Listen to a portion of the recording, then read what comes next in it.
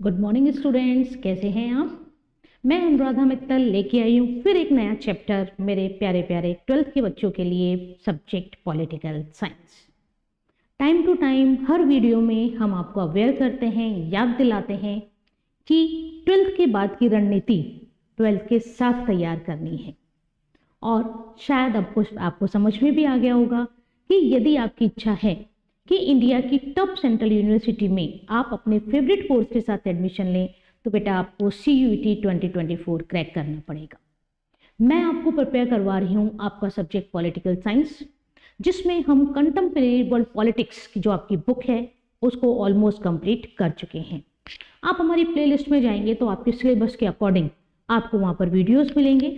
आप उनको देखिए, सुनिए, समझिए और आपका सब्जेक्ट प्रिपेयर करिए। हमने कोशिश की है उन वीडियो में उन सारे टॉपिक्स को लेने की, उन सारे इंपॉर्टेंट पॉइंट्स को लेने की, जहाँ से संभव है कि सी के पेपर में, आपके बोर्ड के पेपर में प्री बोर्ड अगर होने हैं तो उनके पेपर्स में हाफिल एग्ज़ाम यदि आपके बाकी हैं तो उन पेपर्स में आपको वहाँ से क्वेश्चंस मिलें और उनके आंसर हम आपको प्रोवाइड करवा रहे हैं। जल्दी ही हम क्वेश्चंस की सीरीज़ भी लेके आएँगे, लेकिन एक बार कंटेम्प्रेरी वर्ल्ड पॉलिटिक्स का जो सिलेबस है, वो हमारे द्वारा पूरा करा दिया गया है। आप नीचे देखिए तो आपको प्लेलिस्ट में सारे चैप्टर्स ऑलमोस्ट मिल जाएँगे। आज से हम शुरू कर रहे हैं एक नया चैप्टर इस वीडियो में हम पढ़ेंगे आपका first chapter that is challenges of nation building जैसे आप देख रहे हैं पीछे साइड पे, ये आपकी book Indian politics since independence उसका फ़र्स्ट चैप्टर है। आपके सिलेबस में यदि आप सीयूटी के सिलेबस में देखेंगे तो ये सेकेंड नंबर पर है और अगर आप ट्वेल्थ की बुक में देखेंगे तो ये फ़र्स्ट नंबर पर आपका आता है। पढ़ना हमें ऐसे ही है। जैसे मैंने जब आपको वाली बुक प्रिपेयर करवाई थी तो मैंने आपको बताया था कि आपका जो ट्वेल्थ का सिलेबस है, बहुत अच्छा सिलेबस है। एनसीईआरटी ने बहुत अच्छा सिलेबस आपके लिए प्रिपेयर किया हुआ है और जो बुक में चैप्टर हैं, वो इस तरह से एक दूसरे से बंधे हुए हैं कि हमें थर्ड चैप्टर समझने के लिए फ़र्स्ट चैप्टर समझना थोड़ा सा ज़रूरी हो जाता है। क्योंकि जब तक हमारा बैकग्राउंड तैयार नहीं होगा, तब तक हम आगे के इंसिडेंट्स को समझ नहीं पाएँगे। ऐसे ही यदि हम इस बुक की बात करें आपकी तो इस बुक में भी चैप्टर एक के बाद एक गुथे हुए हैं। यानी एक चैप्टर समझ में आएगा, फिर आप उसके अगले के इंसिडेंट उसके आगे के इंसिडेंट उसके आगे के इंसिडेंट ऐसे ही आप पढ़ते चले जाएँगे। कुछ आपको इंडिकेशन अपनी बुक के नेम से ही हो गया होगा कि ये वाली बुक आपकी बात करती है Indian politics after the independence यानी जब भारत आज़ाद हुआ तो उसके सामने क्या क्या सिनेरियो थे, कैसे सिचुएशंस थी किन किन चीज़ों से थे फाइट करना था क्या क्या उसकी प्रायोरिटी पे थे गवर्नमेंट की कि हमें क्या क्या करना है इंडिया को किस दिशा में आगे बढ़ाना है, किस तरह इलेक्शंस करवाने हैं, कौन इलेक्शन करवाएगा, कैसे इलेक्शंस होंगे गवर्नमेंट कैसे फ्रेम होगी, ये सारी चीज़ें इस बुक में आपको दी गई है। हाँ कॉन्स्टिट्यूशन फ्रेम कैसे होगा वो नहीं है, आप पता है, वो आप इलेवंथ में पढ़ के आ चुके हैं कॉन्स्टिट्यूशन की पूरी बुक वो अलग बात है। वहाँ, यहाँ हमें कॉन्स्टिट्यूशन नहीं पढ़ना है। यहाँ हमें ये पढ़ना है इम्प्लीकेशन ऑफ़ द कॉन्स्टिट्यूशन यानी कॉन्स्टिट्यूशन बन गया है अप्लाई हो गया है। उसके अकॉर्डिंग कैसे कैसे इंडिया की गवर्नमेंट ने वर्क किया? जैसे मैं आपको बताऊँ फ़र्स्ट चैप्टर आपका बताता है कि कैसे हमारा इंडिया इंडिपेंडेंट हुआ। इंडिपेंडेंट होने के बाद क्या सिचुएशन थी? किस तरह से प्रिंसिपल स्टेट को मर्ज किया गया? कैसे हमारी इंटरनल बाउंड्री थी? कैसे रीऑर्गेनाइजेशन ऑफ़ स्टेट किया गया? सेकेंड चैप्टर आपका बात करेगा era of one party dominance फिर उसके बाद कैसे उसका कांग्रेस का प्रभुत्व कम हुआ? कैसे उसने रिस्टोर किया? फिर आप पढ़ेंगे इंटरेस्टिंग चैप्टर इमरजेंसी के बारे में 1975 की इमरजेंसी इंदिरा गांधी, उसके बारे में हम पढ़ेंगे। रिसेंट डेवलपमेंट्स हमें पढ़ने हैं, ठीक है? कुछ कुछ यहाँ पर रिलेशन से रिलेटेड भी है इंडिया का पाकिस्तान से, यहाँ पे ये वाली चीज़ें भी मैं थोड़ा सा रिकॉल करनी पड़ेंगी। ये सारा इस बुक का मैंने आपको ब्रीफ में पूरा मैटर बताया। आज की हमारी क्लास में हम स्टार्ट कर रहे हैं एक नया chapter that is challenge of nation building देखिए बेटा, आपको पता है कि भारत 200 लगभग 200 सालों तक ब्रिटेन की कॉलोनी रहा। अंग्रेज़ व्यापारी के रूप में भारत में आए थे, और लेकिन धीरे धीरे उन्होंने इकोनॉमिकली पॉलिटिकली और कल्चरली भारत पर अपनी डोमिनेंस स्टैब्लिश कर ली। ईस्ट इंडिया कंपनी फ्रेम की गई थी इस उद्देश्य के साथ कि ईस्टर्न कंट्रीज़ के साथ ब्रिटेन ट्रेड करेगा। लेकिन ट्रेड एक छोटा सा मोटिव था, बड़ा मोटिव था अपनी डोमिनेंस को स्टैब्लिश करने के लिए। आपने टाइम टू टाइम सुन भी रखा होगा मूवीज़ भी देखी होंगी, कहानियाँ भी सुनी होंगी अलग अलग लीडर्स के बारे में भी सुना होगा कि अलग अलग लीडर्स ने अपना योगदान देके कंट्रीब्यूट करवा के इंडिया को क्या दिलवाई? इंडिपेंडेंस दिलवाई। और at the midnight of fourteen August and fifteen August 1947 India emerge as an independent country on the world में यानी 14 और 15 अगस्त उन्नीस की मध्य रात्रि को भारत एक स्वतंत्र राष्ट्र के रूप में विश्व के नक्शे पर आया। अब देखिए, अगर हम बात करें तो ये आपके फ़र्स्ट चैप्टर है। चैप्टर का नाम है चैलेंज ऑफ़ नेशन बिल्डिंग ये आपको पता है, पाकिस्तान का नक्शा है। दूसरे आप देख रहे हैं, हमारे first prime minister Pandit Jawaharlal Nehru और ये भारत के सामने जो चैलेंजेस थे, वो इस पिक्चर के द्वारा बताने की कोशिश की गई। अब हम हमारा चैप्टर स्टार्ट करते हैं। देखिए चैप्टर की स्टार्टिंग में थोड़ा सा आपको एक इंट्रोडक्शन तैयार करना पड़ेगा कि हम चैप्टर को लिंक करें कि किस किस तरह से चैप्टर में क्या क्या हमें पढ़ना है। देखिए, आपको पता है कि अगर इंडिया की इंडिपेंडेंसी की हम बात करें तो इंडिया इंडिपेंडेंट हुआ। लेकिन जहाँ हमें इंडिपेंडेंस की हैप्पीनेस थी, जहाँ हम खुश थे कि हम स्वतंत्र हैं, वहीं एक दुख की घटना भी हमारे साथ हुई थी that is partition of India आपको पता है कि भारत का क्या कर दिया गया, आज़ादी के साथ ही विभाजन कर दिया गया। दो देश विश्व के नक्शे पर निकल कर आया, एक भारत और दूसरा पाकिस्तान। पाकिस्तान दो भागों में बटा हुआ था। एक था ईस्ट पाकिस्तान और दूसरा था वेस्ट पाकिस्तान। में अभी आपको बताऊँगी। और बीच वाला जो पोर्शन था, वो था हमारा प्यारा भारत। अब क्या हुआ बेटा? ये डिवीज़न क्यों हुआ? तो देखिए बेसिकली ये डिवीज़न का रीजन था। आप कह सकते हैं कम्युनल झगड़े। भारत में जो हिंदू मुसलमान थे, उनमें यूनिटी का कम होना ब्रिटिश गवर्नमेंट की डिवाइड एंड रूल पॉलिसी करना, उस वक्त कम्युनल राइट्स होना, और इन सब कारणों से एट लास्ट ये डिसीज़न लिया गया कि इंडिया को दो भागों में बांट दिया जाए, भारत और पाकिस्तान। जब फोर्टीन और फिफ्टीन अगस्त को इंडिया इंडिपेंडेंट हुआ तो उस वक्त पंडित जवाहरलाल नेहरू द्वारा कॉन्स्टिट्यूशनल असेंबली के फ्रंट में एक इंग्लिश स्पीच दी गई, जिसका नाम है ट्रस्ट विथ डेस्टिनी ठीक है? ट्रस्ट विथ डेस्टिनी क्या है? बहुत बार आपसे क्वेश्चंस में पूछा गया है, जैसे एमसीक्यूज में तो इस तरह पूछा जाता है trust with destiny is related to which political leader doctor Rajendra Prasad Jawaharlal Nehru Ambedkar, ऐसे चार पाँच चार नाम दे दिए जाएँगे, उसमें से आपको एक सेलेक्ट करना पड़ेगा। दूसरा, क्या है trust with destiny? Trust with destiny, इसको हिंदी में कहा जाता है भाग्य वधु से चिर परिचित मुलाकात। क्या हुआ? कि जब पौधा और पंद्रह रासों के हमारे प्रथम प्रधानमंत्री कौन थे? पंडित जवाहरलाल नेहरू। तो उन्होंने एक स्पीच दी। उसमें ये बताया कि जो अब हमारा भारत है, उसको हम फ्यूचर उससे हमें क्या गोल अचीव करने हैं? हमारा लक्ष्य क्या होगा? भाग्य से हम कैसे अपने आप की मुलाकात करेंगे?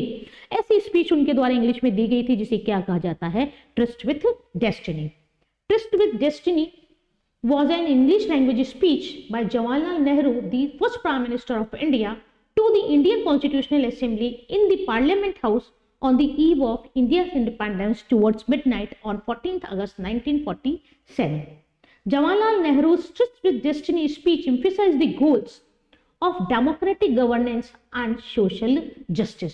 देखिए, ये चीज़ें आपको याद रखनी है। कौन कौन से इंपॉर्टेंट पॉइंट्स हैं? किसने स्पीच दी? पंडित जवाहरलाल नेहरू ने। कब दी? Midnight of fourteen fifteen August 1947 किस लैंग्वेज में थी? इंग्लिश में थी। कहाँ पे प्रेजेंट करी? कॉन्स्टिट्यूशनल असेंबली में, जो कि पार्लियामेंट में थी, हमारी पार्लियामेंट हाउस में थी। दूसरा, क्या था इसमें इंपॉर्टेंट चीज़ें, क्या थी? इसमें इम्फेसिस किया गया उन गोल्स पे, जिसमें इंडिया में डेमोक्रेटिक गवर्नमेंट और सोशल जस्टिस को एस्टैब्लिश किया जाए। तो ये आपको तैयार करना है what is the trust with destiny okay trust with destiny आपको तैयार करना है कि ट्रस्ट विथ डेस्टिनी क्या है? एक स्पीच है जो पंडित जवाहरलाल नेहरू द्वारा दी गई थी। अब आगे की बात करें, ये आपका एक क्वेश्चन तैयार हो गया और साइमल्टेनियसली आप देखिए, पिछले पेपर्स उठा के देखिए तो यहाँ से एक, दो या तीन, दो नंबर तक के क्वेश्चन इस वाले टॉपिक में से बनता है। अब देखिए, मैंने आपको बताया, मैंने आपको कहा कि इंडिया को इंडिपेंडेंस मिली, इस बात का खुश थे। लेकिन एक घटना और हुई, वो था पार्टीशन ऑफ़ इंडिया भारत का दो भागों में विभाजन कर दिया गया। तो कैसे दो भागों में विभाजन किया? तो यहाँ पर एक वर्ड आता है, आपको पढ़ना है that is two nation theory ठीक है? टू नेशन थ्योरी को कहीं ना कहीं रेस्पॉन्सिबल माना जाता है इंडिया के पार्टीशन के लिए।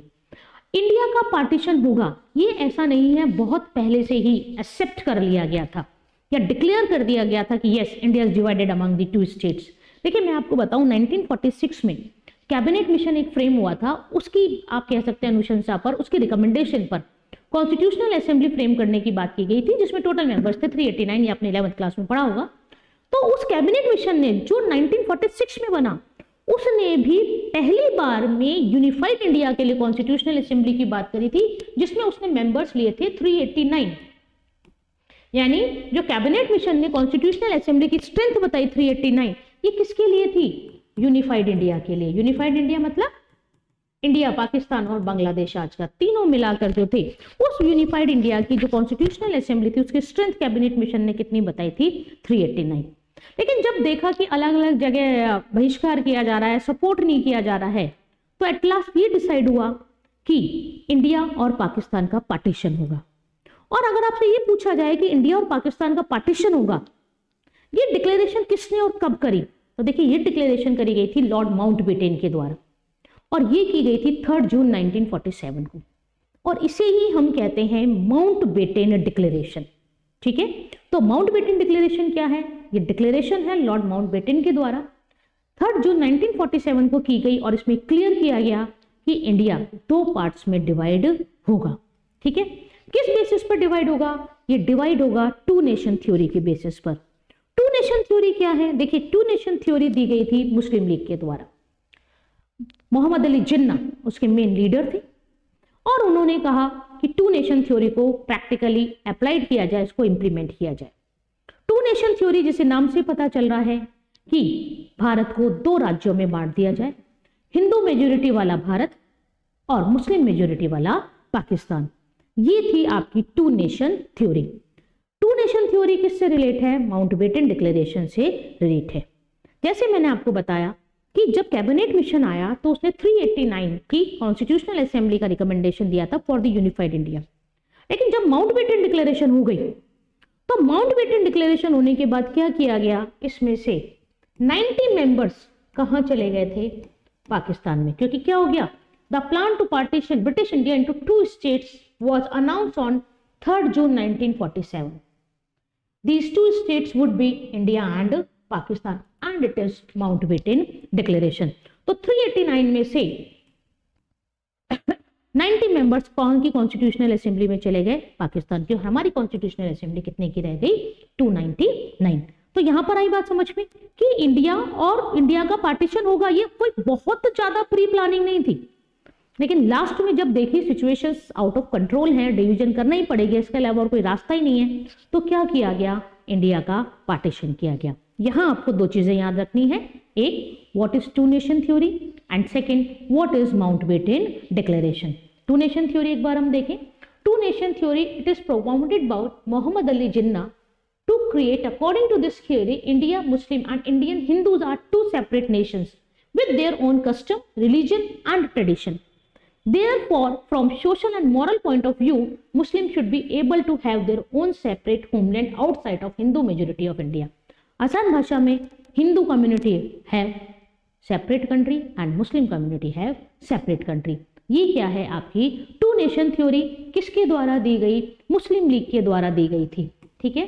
मुस्लिम लीग एक ऑर्गेनाइजेशन थी जिसको 1906 में फ्रेम किया गया था। सर आगा खां इसके मेन लीडर थे। ठीक है? तो यहाँ तक ये बात समझ में आई आपको? ट्रस्ट विद डेस्टिनी हमने देख लिया। दूसरा हमने देखा माउंट बेटन डिक्लेरेशन और तीसरा आपने देखा टू नेशन थ्योरी।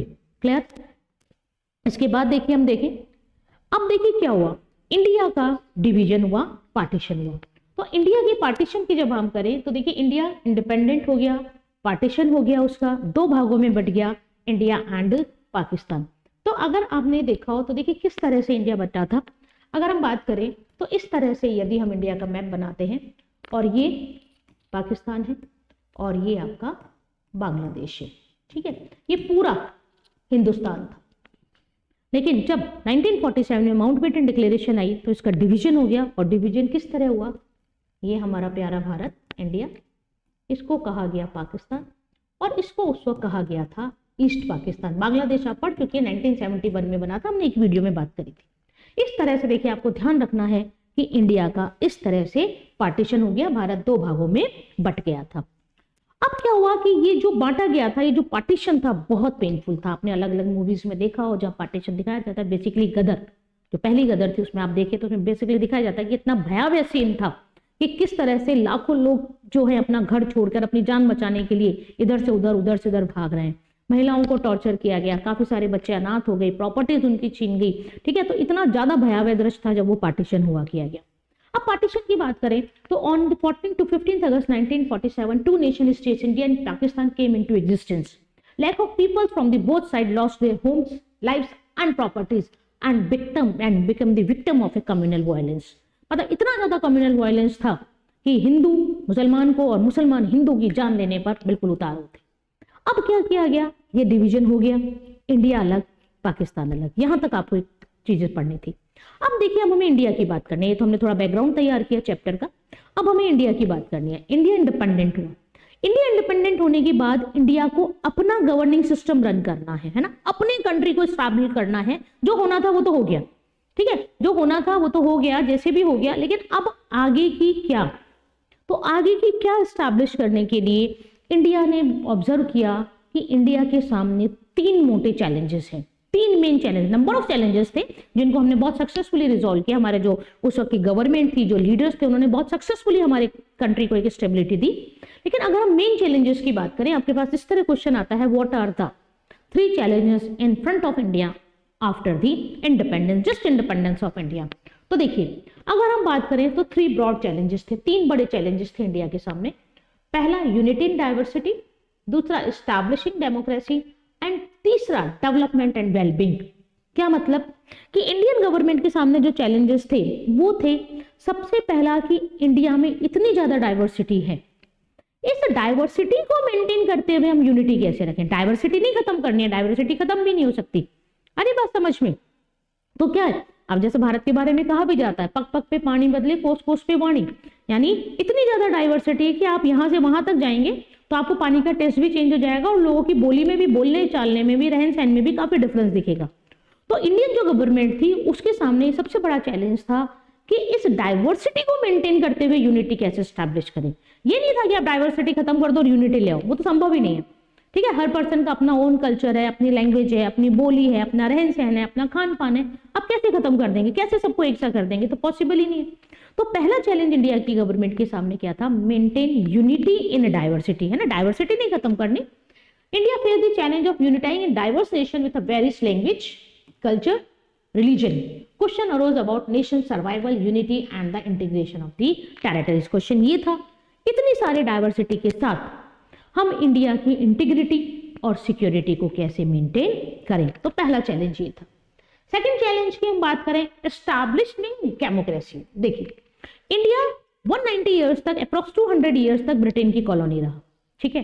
अब इंडिया को पता था what is the importance of democracy यानी लोकतंत्र क्या होता है? हमें स्वतंत्रता, समानता, मौलिक अधिकार, सर्वोच्चता, संविधान, सब कुछ चाहिए। और कहा मिलेगा? लोकतंत्र में। तो भारत के जो लीडर्स थे, उनको कहीं डाउट नहीं था कि हमें किस तरह की गवर्नमेंट चाहिए। हमें किस तरह की गवर्नमेंट चाहिए थी? हमें डेमोक्रेटिक गवर्नमेंट चाहिए थी। The Indian constitution laid the foundation for democracy granting fundamental rights and universal suffrage this challenges was to translate constitution ideals into democratic practices यानी भारत की जो सरकार थी, भारत के जो नेता थे, उनको क्लियर था कि भारत में लोकतंत्रात्मक राज्य लाना है। डेमोक्रेटिक गवर्नमेंट लानी है। आपने टाइम टू टाइम डेमोक्रेसी पढ़ रखा है मीनिंग पढ़ रखा है। अगर हम डेमोक्रेसी को बहुत आसान भाषा में समझें तो जहाँ की गवर्निंग सिस्टम में पीपल्स का पार्टिसिपेशन हो, वो डेमोक्रेसी होती है। जहाँ पीपल्स को लिबर्टी मिले फ्रीडम मिले इक्वलिटी मिले जस्टिस मिले, वो डेमोक्रेसी होती है। जहाँ पर डिक्टेटरशिप ना हो डोमिनेंस ना हो किसी की, वो डेमोक्रेसी होती है। और पीपल एक इंपॉर्टेंट रोल प्ले करते हैं वहाँ की गवर्निंग को चुनने में गवर्नमेंट को क्रिटिसाइज करने में गवर्नमेंट को रिमूव करने में। इस टाइप के सिस्टम को क्या कहा जाता है? डेमोक्रेसी कहा जाता है। और इंडिया के सामने दूसरा चैलेंज था कि डाइवर्सिटी के साथ यूनिटी बनाते हुए कैसे इस डेमोक्रेसी को स्टैब्लिश करें और यूनिवर्सल सफरेज को अप्लाइड किया जाए। आपने टाइम टू टाइम पढ़ रखा होगा यूनिवर्सल सफरेज क्या होता है? इसको यूएएफ के नाम से भी आता है यूनिवर्सल एडल्ट फ्रेंचाइज मीनिंग पता होगा आपको यूनिवर्सल सफरेज का मतलब क्या होता है? जब एक एडल्ट को अपनी कंट्री में वोट देने का राइट हो तो उसे कहा जाता है universal suffrage without any discrimination तीन चार्जेस क्या आ गए यूनिवर्सल सफरेज में? Every adult have right to vote citizen of that country and he vote without any discrimination यानी जब वोट दिया जा रहा है तो जेंडर कास्ट रिलीजन क्लास इसके बेसिस पर कोई भी डिफरेंस नहीं किया जाएगा। इसको कहा जाता है यूनिवर्सल सफरेज मैंने इसलिए बताया क्योंकि एक बार आपसे एग्ज़ाम में पूछा गया है what is the meaning of universal suffrage universal suffrage is right of vote to a citizen without any discrimination adult citizen अब देखिए, अगर हम इंडिया की बात करें तो इंडिया का कॉन्स्टिट्यूशन अप्लाइड हुआ 26 जनवरी 1950 ठीक है? उस वक्त जो वोटिंग राइट्स थे, उसके लिए जो मिनिमम एज थी that is declared at 21 years यानी उस वक्त जो व्यक्ति वोट दे रहा था, आज आपको पता है, आज कौन वोट देगा जिसकी एज कितनी है? 18 ईयर्स लेकिन जब हमारा कॉन्स्टिट्यूशन अप्लाइड किया गया था 1950 में ओरिजिनल जो कॉन्स्टिट्यूशन था, उसमें वोटिंग एज डिसाइड की गई थी 21 ईयर राजीव गांधी की गवर्नमेंट आई और राजीव गांधी की गवर्नमेंट ने सिक्सटी फ़र्स्ट अमेंडमेंट किया और इस 21 को रिड्यूस करके कितना कर दिया? 18 और तब से यही है सिक्सटी फ़र्स्ट अमेंडमेंट के बाद कि every adult citizen means who acquired the minimum age 18 years have right to vote without any discrimination और इसको क्या कहा जाता है? यूनिवर्सल सफरेज थर्ड चैलेंजेस क्या था? Development and wellbeing constitution outline principles of equality special protect for the disadvantage groups this challenge was formulate effective policies of economic development and poverty and यानी जो कॉन्स्टिट्यूशन था, उसने ये outline किया कि हमें क्या करना है? पीपल्स को इक्वलिटी देनी है।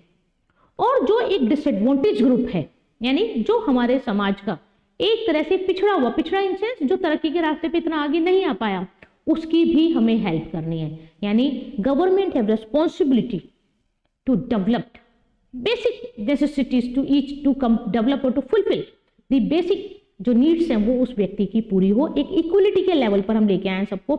ऐसा नहीं हो कि एक बहुत ऊपर है और एक बहुत नीचे है। यानी गवर्नमेंट को क्या करना था? सबका वेलबिंग करना था डेवलपमेंट करना था होल सोसाइटी होल कंट्री तो आए बच्चों, यहाँ तक समझ में आसान भाषा में आपका क्वेश्चन बनता है right the three challenges in front of India after the independence तीन चैलेंजेस आपको याद रखना है to maintain unity in diversity to establish the democratic government with universal suffrage and third development and wellbeing of all the peoples of Indian countries specially disadvantage group ठीक है? तो ये आपका क्या हुआ point what are the three challenges in front of Indian government after the independence अब देखिए बच्चों, हम पार्टीशन के प्रोसेस की बात कर रहे हैं। जैसे मैंने अभी आपको पार्टीशन का प्रोसेस समझाया, किस तरह से पार्टीशन किया गया।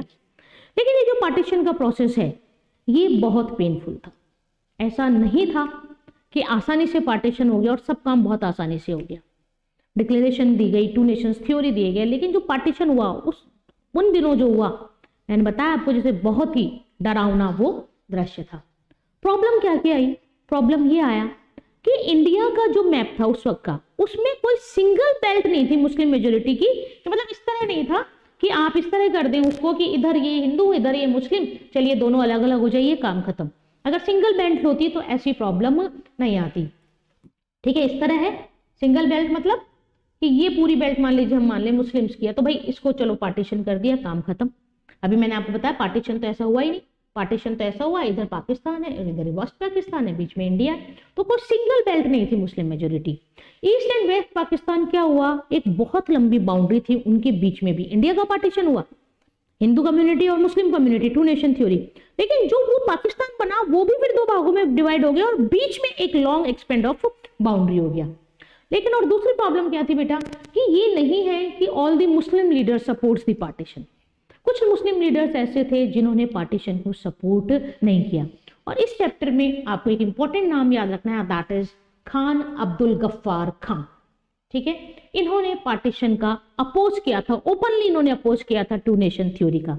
और एक इंपॉर्टेंट चीज़ आपको ध्यान रखनी है, Khan Abdul Ghaffar Khan is also known as frontier Gandhi और अगर हम बात करें, और प्रॉब्लम क्या है कि जो भारत के जो सबसे बड़े दो प्रोविंसेस थे बंगाल और Punjab had a very large area and have majority of both Hindu Muslim और सिक्स भी यहाँ पे बहुत थे। ठीक है? तो ये क्या है आपका एक पार्टीशन प्रोसेस की? पार्टीशन प्रोसेस किस तरह हुआ और क्या क्या था? क्या क्या चीज़ें आपको याद रखनी है? Decision is very painful and difficult also ठीक है? ये जो विभाजन का दर्द बहुत भयानक था और बहुत आसान भी नहीं था। No single belt of Muslim majority Muslim majority की कोई भी क्लियर कट एक सिंगल बेल्ट नहीं थी। West and east Pakistan separated by long expanse of Indian territories बताया मैंने, इधर ईस्ट पाकिस्तान उधर वेस्ट पाकिस्तान बीच में इंडिया की territory not all Muslim majority support the partition like Khan Abdul Ghaffar का known as frontier Gandhi he openly oppose the two nation theory two provinces Bengal and Punjab had a very large area and have a majority of Hindu and Muslims अब क्या करें, कैसे बांटें? जब एक area में हिंदू की भी मेजोरिटी और मुस्लिम की भी मेजोरिटी है तो आप किस तरह से उसका डिवीज़न करेंगे? और देखिए, अगर हम उस वक्त के बंगाल की बात करें तो उस वक्त का बंगाल, जिसे आप पश्चिमी बंगाल कहते हैं, आज बहुत बड़ा था। उस वक्त के बंगाल में बांग्लादेश इंक्लूड था, झारखंड इंक्लूड था, बिहार इंक्लूड था, पश्चिमी बंगाल खुद इंक्लूड था। तो आप सोचिए, इतना बड़ा प्रांत था तो क्या पॉसिबल है एक ही तरह की मेजोरिटी रहेगी? तो बंगाल और पंजाब में हिंदू मेजोरिटी भी थी और मुस्लिम मेजोरिटी भी थी तो, ऐसे जो प्रोविंसेस हैं बड़े वाले प्रोविंसेस हैं उनके पार्टीशन में भी प्रॉब्लम आई। क्वेश्चन किस तरह से आता है? क्वेश्चन इसमें इस तरह से आता है what is the process of partition जिसमें मैंने लिख रखी है हेडिंग क्या है पार्टीशन प्रोसेस ठीक है ये आपका था पार्टीशन प्रोसेस अब देखिए आगे की अगर हम बात करें तो आगे हमें क्या देखना है? ब्रिटिश इंडिया यानी जब इंडिया पे ब्रिटिश रूल थे तो किस तरह से उन्होंने इसको डिवाइड कर रखा था? हिंदुस्तान और पाकिस्तान, ये तो बाद में डिवाइड हुआ जब अंग्रेज़ भारत छोड़कर चले गए। कब की डिक्लेरेशन है? माउंट बेटन डिक्लेरेशन कब हुई? तीन जून उन्नीस सौ सैंतालीस को। लेकिन उससे पहले इंडिया की सिचुएशन कैसी थी? अब देखिए, यहाँ ध्यान से सुनिए। अगर हम ब्रिटिश इंडिया की बात करें तो British India divided among three different parts यानी जो ब्रिटेन था, जो ब्रिटिश हम पे रूल कर रहे थे, उन्होंने पूरे इंडिया को तीन पार्ट्स में डिवाइड कर दिया था। किस किस तरह से डिवाइड किया था उन्होंने? उन्होंने डिवाइड किया था एक तो प्रोविंसेस और इनकी संख्या कितनी थी? ग्यारह। बंगाल और पंजाब, मैंने दो एग्ज़ाम्पल दिए आपको। ये क्या थे? उस वक्त प्रोविंसेस थे, प्रांत हिंदी में हम इनको कहते हैं। प्रिंसली स्टेट नेटिव स्टेट्स इनकी संख्या थी पाँच राजे रजवाड़े, महाराजाओं का जहाँ शासन था, उनकी संख्या कितनी थी? पाँच और चार थे चीफ कमिश्नरी एरिया इस तरह से हमारा क्या था? भारत को इन्होंने बांट रखा था। प्रोविंसेस स्टेट प्रिंसली स्टेट और चीफ कमिश्नरी एरिया यदि मैं आपको चार चीफ कमिश्नरी एरिया की बात करूँ तो बेटा ये थे उस वक्त, ये नाम याद रखना आप। एक था दिल्ली दूसरा था अजमेर। उस वक्त इसको मेरवाड़ भी कहते थे। तीसरा है आपका कुर्ग दैट इज़ कर्नाटक और चौथा है आपका बलूचिस्तान, जो कि जब माउंट पेटन डिक्लेरेशन आई तो ये चीफ कमिश्नरी एरिया कहाँ पे चला गया? पाकिस्तान में ये नाम आपको याद रखना है, पूछा जाता है, ठीक है? तो इस तरह से क्या कर रखा था? उन्होंने, अंग्रेज़ों ने प्रशासनिक दृष्टि से या किसी भी तरह, मान लीजिए, क्या कर रखा था? भारत का विभाजन कर रखा था प्रोविंसेस ग्यारह, बंगाल हुआ, पंजाब हुआ, मद्रास हुआ, मध्य प्रांत, संयुक्त प्रांत, इस तरह से बने हुए थे, इस तरह से ग्यारह थे। दूसरे थे प्रिंसली स्टेट जिनको नेटिव स्टेट कहा जाता राजा रजवाड़ों का, जहाँ शासन था जहाँ किंगशिप थी, है ना? अलग अलग राजा भी तो उस वक्त भारत में राज कर रहे थे तो राजा था, और आपने कहीं ना कहीं अठारह सौ सत्तावन की क्रांति सुनी हो। तो उसमें कहा भी गया है कि यदि एक भी राजा महाराजा सैनिकों के साथ हो जाता तो हमें अपना बोरिया बिस्तर उठाना पड़ता। तो राजा रजवाड़ों का जो शासन था, उसे क्या कहा गया? प्रिंसली स्टेट कहा गया, जिनकी संख्या कितनी थी? पाँच और चार हमारे क्या थे? चीफ कमिश्नर एरिया थे, जो डायरेक्ट गवर्नर जनरल के अंडर में आते थे। आगे यहाँ तक बात समझ में। अब देखिए क्या हुआ। ये हम यूनिफाइड इंडिया की बात कर रहे हैं बेटा। ये जो चीज़ें हैं, ये सारी कहाँ की हैं? ये सारी यूनिफाइड इंडिया है ये पूरा। है ना? अभी तक डिवीज़न नहीं हुआ। है ये डिवीज़न से पहले की सिचुएशन है। ये पूरा भारत उन्होंने बांट रखा था। अब डिवीज़न के बाद तो ईस्ट पाकिस्तान अलग वेस्ट पाकिस्तान अलग। कुछ प्रोविंसेस पाकिस्तान में गए, कुछ प्रोविंसेस इंडिया के पास रह गए। कुछ नेटिव स्टेट पाकिस्तान में मिल गए, कुछ नेटिव स्टेट इंडिया में मिल गए। फिर मैंने आपको बताया, तीन कमिश्नरी एरिया, इंडिया के पास रह गया डेली और अजमेर, मेरवाड़। और एक बलूचिस्तान किसके पास चला गया? पाकिस्तान के पास चला गया। क्लियर अब क्या हुआ? देखिए, जब इंडिया से अंग्रेज़ जा रहे थे तो क्या करें? भाई, कैसे कैसे डिवीज़न करके जाए? तो ठीक है प्रोविंसेस का तो हो गया काम, जैसे भी जो भी जिस बाउंड्री में जाना था। प्रॉब्लम कहाँ पर आई? प्रॉब्लम आई इनके साथ। प्रिंसली स्टेट्स के साथ। चीफ कमिश्नर एरिया में मैंने आपको बता दिया। तीन इंडिया में रह गए, एक बलूचिस्तान कहाँ चला गया, पाकिस्तान में चला गया। पाँच सौ पैंसठ ये प्रिंसली स्टेट थे। प्रॉब्लम क्या आ गई बेटा? देखिए, आपको पता है कि अंग्रेज़ हमेशा से डिवाइड एंड रूल पॉलिसी में काम करते हैं। फूट डालो और राज करो। और आपने अपने इतिहास में कभी पढ़ा हो तो इन्होंने फूट डालो, राज करो की नीति का प्रारंभ 1909 से ही कर दिया था, जब ये आप मार्लिमेंटो एक्ट लेके आए थे। कम्युनल रिप्रेजेंटेशन दिया था, सबसे पहले सेपरेट रिप्रेजेंटेशन दिया था मुसलमानों को। 1909 में। उसके बाद उन्होंने कहा भी था कि हम इस एक्ट के द्वारा ऐसी बीज बो रहे हैं, ऐसी फ़सल बो रहे हैं, जिसके फल हम फ्यूचर में खाएँगे। और उन्होंने खाए भी। ठीक है? अब क्या था कि जब पार्टीशन हुआ तो ये डिसाइड करना कि कौन सा प्रिंसली स्टेट इंडिया को ज्वाइन करेगा और कौन सा प्रिंसली स्टेट पाकिस्तान को ज्वाइन करेगा, इसके लिए ब्रिटिश गवर्नमेंट ने इन प्रिंसली स्टेट्स को फ्री छोड़ दिया। फ्री मतलब इनके पास तीन ऑप्शंस आ गए। either joined India or Pakistan or maintain independence status. All princely states were given the right to either join India or Pakistan or maintain their independent existence.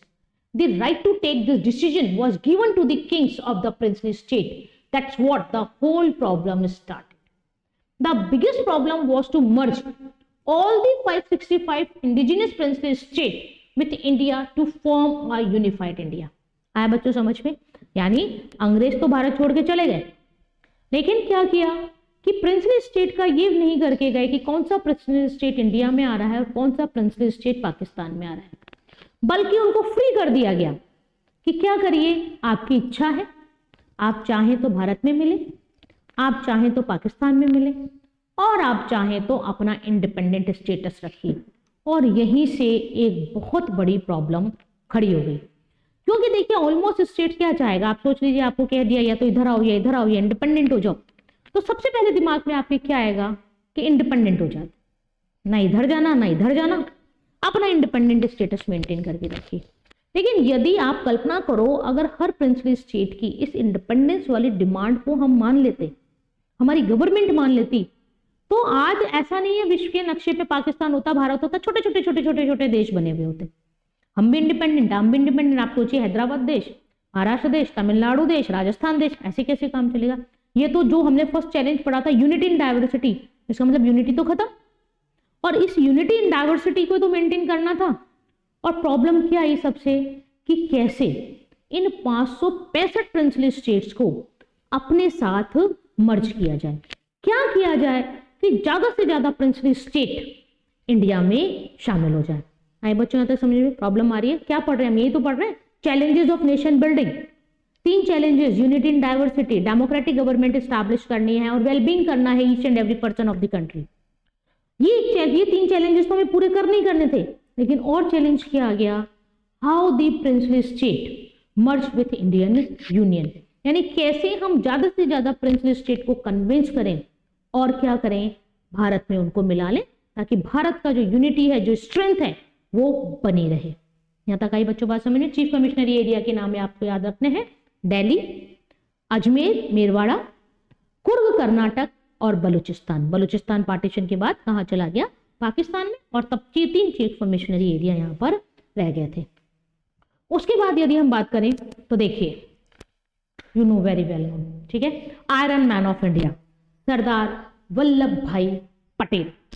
इनका नाम आता है तो ऐसा लगता है कि वर्तमान भारत का नक्शा इन्हीं ने अपने हाथों से सजाया है।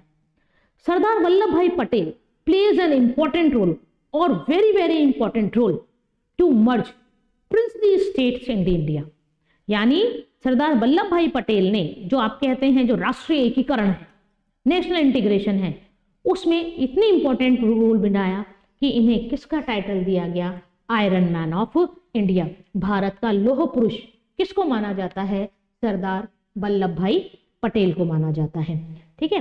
पटेल की यदि हम बात करें तो आपको पढ़ना है, जो सरदार भाई, वल्लभ भाई पटेल थे, वो भारत के फ़र्स्ट होम मिनिस्टर और फ़र्स्ट डिप्यूटी प्राइम मिनिस्टर बने थे। फ़र्स्ट प्राइम मिनिस्टर को आपको पता है first prime minister Pandit Jawaharlal Nehru थे। और हाँ ये एक स्ट्रॉन्ग कैंडिडेट थे जो पंडित जवाहरलाल नेहरू की सीट को चैलेंज कर रहे थे। लेकिन उस वक्त प्रधानमंत्री किसको बनाया गया? पंडित जवाहरलाल नेहरू को बनाया गया। तो सरदार वल्लभ भाई पटेल के लिए आपको क्या याद रखना है? आयरन मैन ऑफ़ इंडिया और एक हमने क्या पढ़ा था? फ्रंटियर गांधी फ्रंटियर गांधी किसको कहा जाता है? खान अब्दुल गफ्फार खान को। आयरन मैन ऑफ़ इंडिया किसको कहा जाता है? सरदार वल्लभ भाई पटेल को।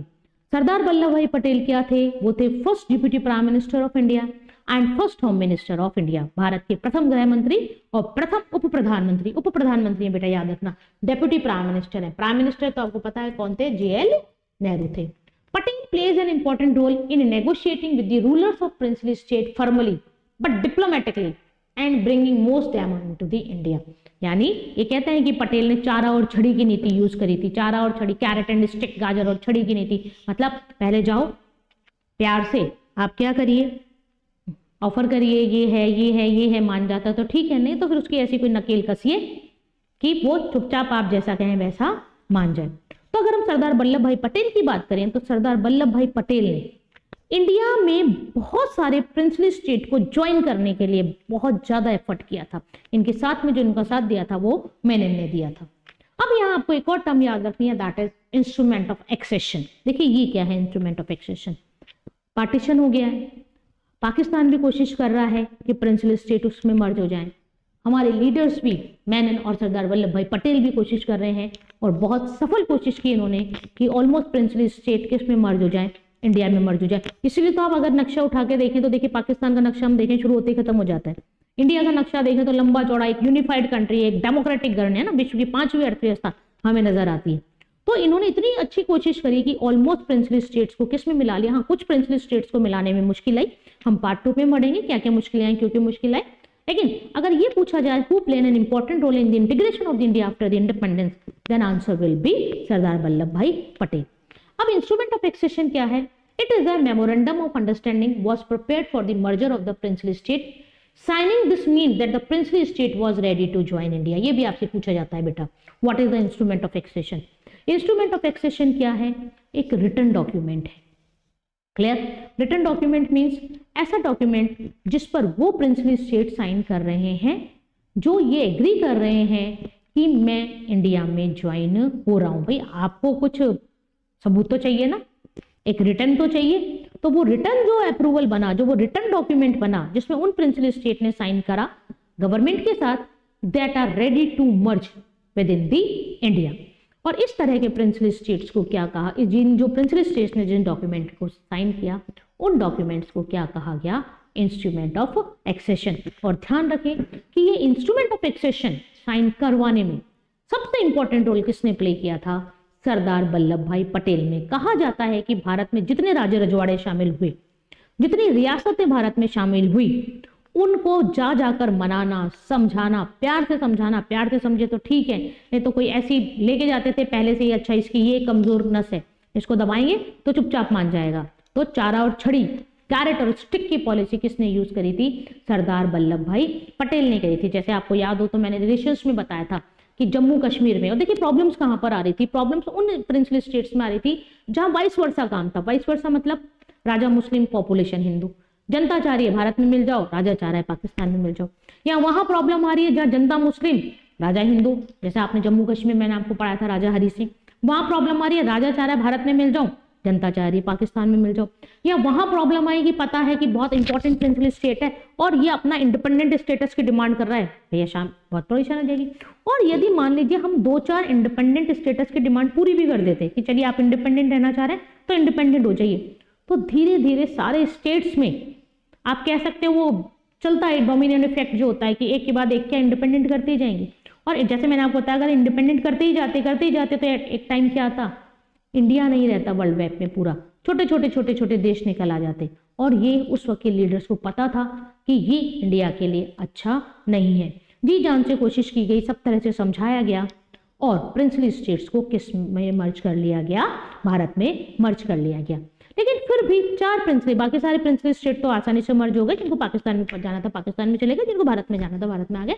और ऑलमोस्ट स्टेटों ने क्या ज्वाइन किया इंडिया लेकिन जो चार प्रिंसली स्टेट्स थी, उनको मर्ज करने में इंडियन गवर्नमेंट को थोड़ी प्रॉब्लम आई। कौन कौन से थे बेटा? इसमें हम एक पढ़ेंगे, आपका था हैदराबाद। ठीक है? दूसरा आपका है जूनागढ़, वर्तमान में गुजरात में है। तीसरा, जम्मू एंड कश्मीर। जम्मू एंड कश्मीर अगर आप न्यूज़ में भी अभी सुन रहे हो तो आपको पता है कि सुप्रीम कोर्ट ने आर्टिकल 370 जो हटा है, उसको वैलिड मान लिया है। ठीक है? यानी गवर्नमेंट ने जो आर्टिकल 370 हटाया है, वो सही मंशा से और सही कार्य के लिए हटाया है। तो कैसे कैसे हुआ, ये भी हम देखेंगे। तीसरा था जम्मू कश्मीर और चौथा यदि हम बात करें तो चौथा था मणिपुर। ये चार प्रिंसिपल स्टेट इनको मर्ज करने में इंडियन गवर्नमेंट को थोड़ा स्पेशल एफर्ट्स करने पड़े। और इन एफर्ट्स को किसने पूरा किया? सरदार वल्लभ भाई पटेल ने। क्वेश्चन किस तरह आता है आपका? क्वेश्चन इस तरह आता है right the names of princely state that है typical process to merge with India यानी उन चार स्टेट्स के नाम लिखिए, उन प्रिंसली स्टेट्स के नाम लिखिए, जिनको भारत में शामिल करने के लिए इंडियन गवर्नमेंट को कोई डिफरेंट एक्शन लेना पड़े। जैसे हम पढ़ेंगे, हैदराबाद को मर्ज किया था एक आर्मी मिलिटेंट एक्शन के द्वारा ऑपरेशन पोलो। जूनागढ़ जनमत संग्रह के द्वारा। मणिपुर में वोटिंग करवाई गई। और जम्मू कश्मीर की तो पूरी कहानी हमें पढ़नी है कि किस तरह से ट्राइबल अटैक करवाया पाकिस्तान ने 1948 में। राजा हरि सिंह डिमांड करते हैं हेल्प की, किस तरह पटेल ने रोका, ये सारी चीज़ें हमें इसमें आगे वाले चैप्टर्स में इनमें पढ़ेंगे। ठीक है? शायद आपका सेवन्थ और एट्थ चैप्टर है इससे रिगार्डिंग और फिर हम क्या पढ़ेंगे? मणिपुर जिसको पहली बार चुनाव करवाकर इसको किसमें मिलाया गया? इंडिया में मिलाया गया यूनिवर्सल सफरेज यहाँ पर करवाया गया था। तो आया बच्चों, यहाँ तक समझ में? आज की क्लास में हमने क्या क्या पढ़ा? आज की क्लास में हमने पढ़ा कैसे इंडिया इंडिपेंडेंट हुआ विथ पार्टीशन एक तरफ़ आज़ादी की खुशी और दूसरी तरफ़ विभाजन का दुख। ये जो पार्टीशन हुआ, कोई इजी प्रोसेस नहीं था, एक डिफ़िकल्ट प्रोसेस था और सबसे बड़ी प्रॉब्लम ये थी कि कोई भी कम्युनिटी की एक सिंगल बेल्ट नहीं थी। चाहे हम मुस्लिम की बात करिए चाहे हिंदू की बात करिए कोई भी एक सिंगल बेल्ट नहीं थी कि जिसको अलग करके हम आसानी से पार्टीशन कर दें, यानी बिखरे हुए थे लोग। दूसरी प्रॉब्लम आपने देखी कि सारे ही Muslim leaders two nation theory को सपोर्ट नहीं करते, जिसमें स्पेशली आपको नाम याद रखना पड़ेगा। Khan Abdul Ghaffar Khan that he was known as also Frontier Gandhi उन्होंने ओपनली टू नेशन थ्योरी का अपोज किया। अब टू नेशन थ्योरी क्या थी two nation theory Mohammad Ali Jinnah और मुस्लिम लीग के द्वारा स्टैब्लिश की गई थी, जो डिमांड करी थी India divided unified India divided among two state Bharat for Hindu majority and Pakistan for Muslim majority जब डिवीज़न हुआ तो ईस्ट पाकिस्तान और वेस्ट पाकिस्तान बना, जिसके बीच में एक इंडियन लॉन्ग एक्सपेंड टेरिटरी आ रही थी, जो भी कहीं ना कहीं आप कह सकते हैं कि जो पार्टीशन के टाइम इंसिडेंट हुआ, वो भी उसकी एक रेस्पॉन्सिबिलिटी थी। फिर आपने पढ़ा tryst with destiny tryst with destiny क्या है? एक स्पीच है, जो पंडित जवाहरलाल नेहरू ने कॉन्स्टिट्यूशनल असेंबली के फ्रंट में दी थी on the midnight of fourteen fifteen sorry fourteen fifteen August 1947 जिसमें उन्होंने फ्यूचर गोल्स को बताया था। अगर इंडिया जब इंडिपेंडेंस हुआ, उसके सामने अगर हम चैलेंजेस की बात करें तो सबसे बड़ा चैलेंजेस था डाइवर्सिटी को मेंटेन करते हुए यूनिटी को स्टैब्लिश करना। दूसरा था कॉलोनियल रूल से फ्री होते हुए डेमोक्रेटिक गवर्नमेंट जो कि बहुत गुड फीचर्स के साथ हमें स्टैब्लिश करनी थी यूनिवर्सल सफरेज देना था राइट्स देने थे फ्रीडम देने थे इक्वलिटी स्टैब्लिश करना था। और सबसे बड़ा काम था, एक और चैलेंज था कि जो इंडिया में कल्चरल डाइवर्सिटी तो थी, जो इकोनॉमिक और सोशल इनइक्वलिटीज थी उनको भी एक लेवल पर लाना और हर पर्सन का डेवलपमेंट करना और वेलबींग करना। फिर हमने देखा कि ब्रिटिश इंडिया जो था, वो तीन पार्ट्स में डिवाइडेड था। एक था आपका प्रोविंसेस इलेवन थे बंगाल और पंजाब दो सबसे बड़े प्रांत थे, जहाँ पर हिंदू और मुस्लिम मेजोरिटी लगभग बराबर संख्या में थी और उनके डिवीज़न में काफ़ी प्रॉब्लम आई। फिर आपने पढ़े चीफ कमिश्नर एरिया, जहाँ डायरेक्ट गवर्नर जनरल का रूल चलता था। और उसमें दिल्ली, अजमेर, मेरवाड़, पूर्व कर्नाटक और बलूचिस्तान आपके चार थे। टू नेशन थ्योरी मैंने आपको बता ही दिया। उसके बाद हमने बात करी कि इंडिया ने यूनिवर्सल सफरेज को सपोर्ट किया, हर एडल्ट को सिटीजन को वोट देने का राइट दिया विदाउट एनी डिस्क्रिमिनेशन प्रॉब्लम कब आई? प्रॉब्लम तब आई जब पार्टीशन हुआ और ये कहा गया कि प्रिंसली स्टेट फ्री हैं। चाहे वो इंडिया को ज्वाइन करें, चाहे पाकिस्तान को ज्वाइन करें या अपना इंडिपेंडेंट स्टेटस रखें। काफ़ी सारे प्रिंसली स्टेट ने उस वक्त सबसे पहली चॉइस जो दिमाग में लाई वो इंडिपेंडेंट स्टेटस की लाई। लेकिन जो भारत के लीडर्स थे, वो कह रहे थे, ये प्रैक्टिकली पॉसिबल नहीं है। अगर ऐसा हुआ तो इंडिया खंड खंड हो जाएगा। भारत खंड खंड हो जाएगा, लेकिन हमें तो अखंड भारत रखना था। इस अखंड भारत को बनाए रखने के लिए प्रिंसली स्टेट्स को कन्विंस करने के लिए सबसे इंपॉर्टेंट रोल किसने प्ले प्ले किया? That is Sardar Vallabh Bhai Patel. लोह पुरुष आपने पता है कि मोदी जी ने सूरत में इनकी स्टैचू ऑफ़ यूनिटी बनवाया है सरदार वल्लभ भाई पटेल को समर्पित करते हुए। ठीक है? तो सरदार वल्लभ भाई पटेल को और क्या कहा जाता है? आयरन मैन ऑफ़ इंडिया कहा जाता है। ये भारत के पहले होम मिनिस्टर और पहले डिप्यूटी मिनिस्टर प्राइम मिनिस्टर भी थे। First prime minister Jawaharlal Nehru और ये डिप्यूटी प्राइम मिनिस्टर थे। इनका साथ दिया मेनन ने और दोनों ने मिलकर भारत की इंटीग्रेशन को स्टैब्लिश किया। यानी तीन चैलेंजेस वो चौथा चैलेंज किया था इंडिया के सामने? सबसे बड़ा how the princely state merge with in the unified India Sardar Patel ने कैरेक्टरिस्टिक की पॉलिसी यूज़ करी इन प्रिंसली स्टेट को मर्ज करने के लिए। और जो प्रिंसली स्टेट इंडिया में मर्ज होना चाहते थे, उन्होंने एक डॉक्यूमेंट पे साइन करा। उस डॉक्यूमेंट का नाम है इंस्ट्रूमेंट ऑफ़ एक्सेशन चार ऐसे प्रिंसली स्टेट जिनकी मर्जिंग में इंडियन गवर्नमेंट को प्रॉब्लम आई।